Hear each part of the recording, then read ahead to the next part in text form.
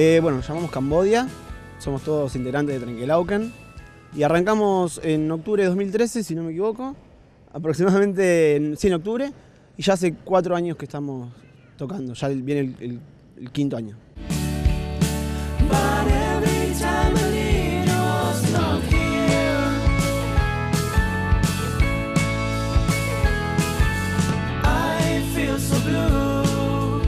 Eh, decidimos arrancar eh, componiendo música en inglés por las influencias que teníamos, que fueron Beatles, Oasis, eh, en mi caso Red Hot Chili Peppers, y, ahí surgió la idea de empezar a, componer en inglés directamente.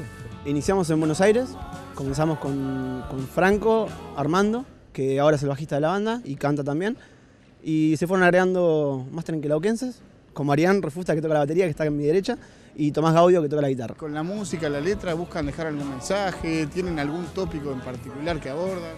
Eh, la verdad que no, no hay nada particular. Eh, todo- todos los temas eh, van tratando de, por ahí, de, de- de momentos de cada uno.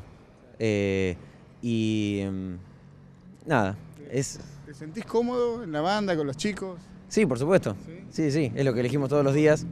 ¿Y por qué justo Trenquelauquenses? ¿Porque son amigos? ¿Porque se dio la casualidad? ¿Porque buscaban y ellos hacían lo que ustedes necesitaban?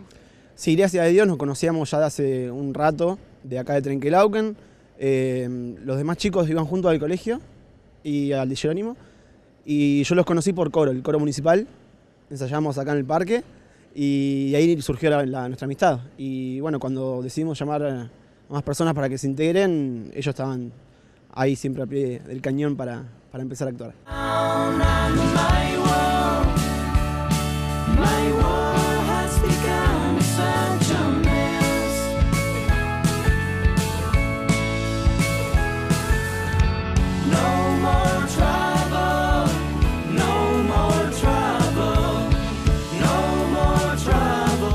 Y ahora este viaje a Estados Unidos es como un paso muy importante en la carrera artística de ustedes.